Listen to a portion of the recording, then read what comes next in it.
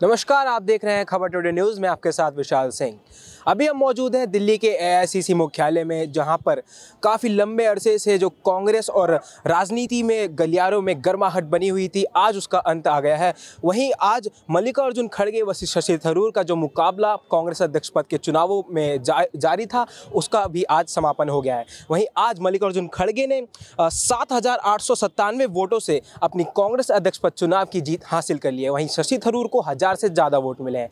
ये काफ़ी एक लंबा गैप इन दोनों के बीच दिख रहा था, जो कि ज़ाहिर था, क्योंकि इससे पहले शशि थरूर को काफ़ी समर्थन नहीं मिला था, लेकिन मल्लिकार्जुन खड़गे के साथ, जो कि काफ़ी वरिष्ठ नेता है, कांग्रेस के दिग्गज नेता है, उनको कई बड़े नेताओं का समर्थन पहले से ही प्राप्त था, जो कि पहले से ही ये चेहरा साफ़ दिख रहा था कि मल्लिकार्जुन खड़गे ही कांग्रेस अध्यक्ष पद के विजेता होंगे। और आज 19 अक्टूबर को बुधवार के दिन कांग्रेस के अध्यक्ष के रूप में मल्लिकार्जुन खड़गे हम सभी के सामने उभर कर सामने आए हैं। वहीं शशि थरूर की तरफ़ से मधुसूदन मिस्त्री को लिखे गए एक पत्र में उनका बयान था कि ये जो चुनाव है, वो निष्पक्ष नहीं है, इसमें धांधली के आरोप भी लगाए थे। लेकिन वही परिणामों के बाद शशि थरूर खुद मल्लिकार्जुन खड़गे के आवास पर पहुंचकर उन्हें बधाई देते हुए नज़र आए।